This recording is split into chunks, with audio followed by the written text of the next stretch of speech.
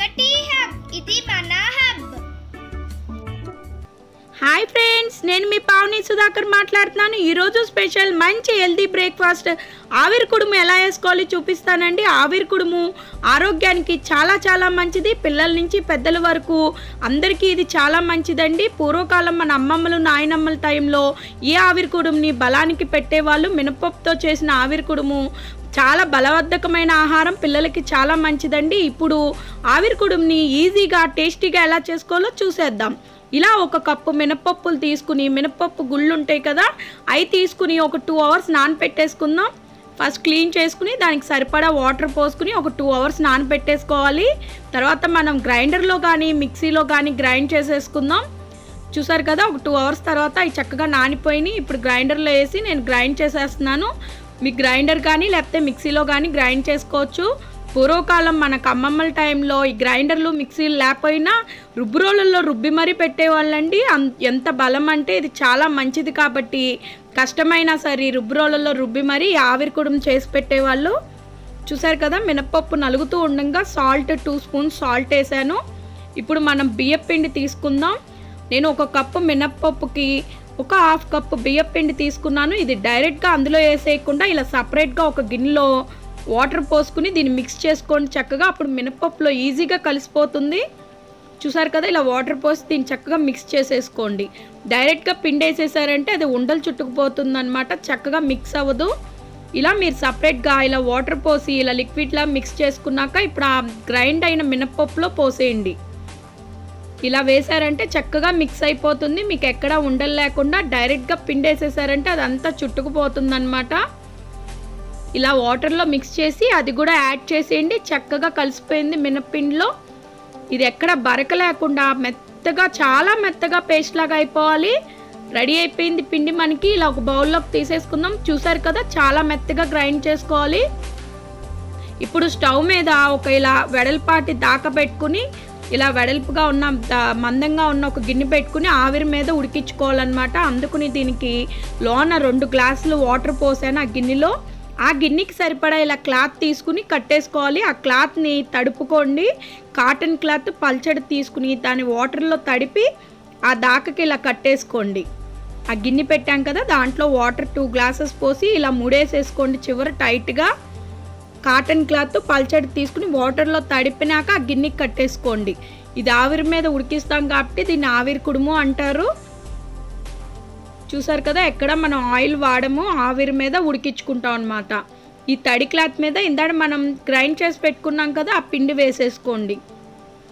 ఈ పిండి మనం రుబ్బుకున్నాక ఒక వన్ అవర్ పక్కన పెట్టేసుకుని తర్వాత మనం ఆవిరి కూడా వేసేసుకుందాం. చూసారు కదా ఇందాక మనం కట్టేసుకున్నాం తడి క్లాత్ దాని మధ్యలో ఇలా పిండి వేసేసుకోండి. కరెక్ట్గా సరిపడాగా ఆ మధ్యలో మాత్రమే వేసుకోండి పిండి. వేసేసుకున్నాక మనం మూత పెట్టేద్దాం. ఫస్ట్ హైలో పెట్టుకుని ఆవిరి స్టార్ట్ అయినాక సిమ్లో పెట్టేసుకోండి. సిమ్లోనే దీన్ని ఆవిరి చేసుకోవాలి.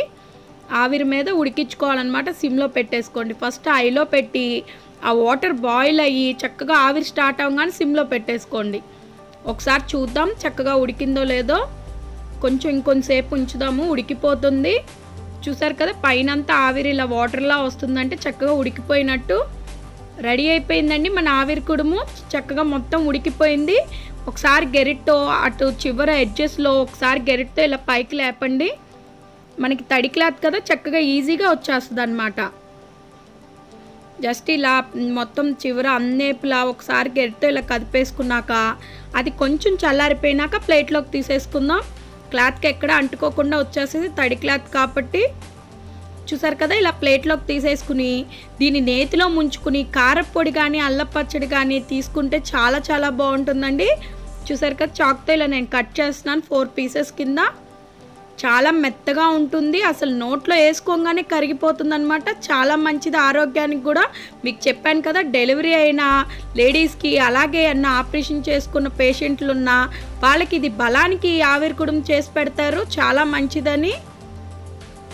ఇప్పుడు అలాగే ఇందాడ మీకు గిన్నెకి క్లాత్ కట్టుకుని చూపించాను కదా ఇప్పుడు ఆవిరి కుడుము చేసుకునే పాత్రలు ఉంటాయి మనకి ఇడ్లీ పాత్రకే ఇస్తాడు లేకపోతే విడిగా కూడా అమ్ముతుంటారనమాట ఆవిరి కుడుము చేసుకునే పాత్రలో కూడా చూపిస్తాను. ఈ ఆవిరి కుడుము చేసుకునే పాత్ర లేనోళ్ళు అలా గిన్నెకి క్లాత్ కట్టుకు చేసుకోండి.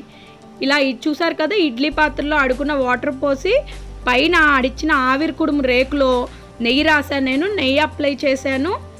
నెయ్యి అప్లై చేసి ఇందాక మనం గ్రైండ్ చేసి పెట్టుకున్న పిండి వేసేసుకోండి.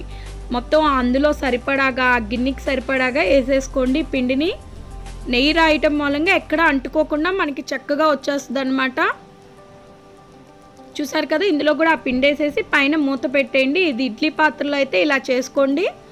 ఈ ఆవిరి చేసుకునే రేకు మీ దగ్గర లేకపోతే ఇందాక నేను చూపించిన విధంగా ఒక గిన్నెకి అలా క్లాత్ చుట్టుకుని ఆ క్లాత్లో వేసుకోండి పిన్ని. ఆ గిన్నెలో మాత్రం టూ గ్లాసెస్ వాటర్ పోయండి పైన ఆ క్లాత్ తడి క్లాత్ కట్టుకుని పిండి వేసుకోండి.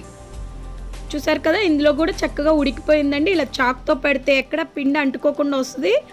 రెడీ అయిపోయింది. ఇది కూడా మనం నెయ్యి రాసాం కదా పైన చూసారు కదా ఎలా ఉందో. ఇది కూడా ప్లేట్లోకి తీసుకుని ఇలా కట్ చేసేసుకుందాం. చాలా మెత్తగా ఉంటుంది అసలు చాలా బాగుంటుంది. దీన్ని నేతిలో డిప్ చేసుకుని తింటారు. కారపొడి కానీ ఇలా అల్లం పచ్చడి కానీ తీసుకోండి. సూపర్ ఉంటుంది అనమాట ఇంకెందుకు ఆలస్యం? మంచి హెల్తీ బ్రేక్ఫాస్ట్ అండి. మీరు కూడా ఇంట్లో ట్రై చేసేసుకోండి. ఎలా ఉంది నాకు కామెంట్ చేయండి. ఈ వీడియో నచ్చినట్టయితే లైక్ చేయండి. మా ఛానల్ ఫస్ట్ టైం చూసే వాళ్ళైతే సబ్స్క్రైబ్ చేయండి. అలాగే పక్కనే ఉన్న బెల్ ఐకాన్ క్లిక్ చేస్తే మేము ఏ వీడియో పెట్టినా మీకు నోటిఫికేషన్ వస్తుంది. మీరు కూడా చూడొచ్చు. ఇలాంటి ఈజీ రెసిపీస్ హెల్తీ రెసిపీస్ మరెన్నో మీకోసం షేర్ చేస్తుంటామండి. అలాగే మీరు ట్రై చేసిన రెసిపీస్ని పిక్ తీసి ఇన్స్టాగ్రామ్లో పోస్ట్ చేసి హ్యాష్ ట్యాగ్ ఎక్కటి అప్ అని చెప్పి ట్యాగ్ చేయండి. మేము కూడా చూస్తాం. నెక్స్ట్ టైం ఇంకో రెసిపీతో కలుద్దాం. Thank you bye bye Like, share, and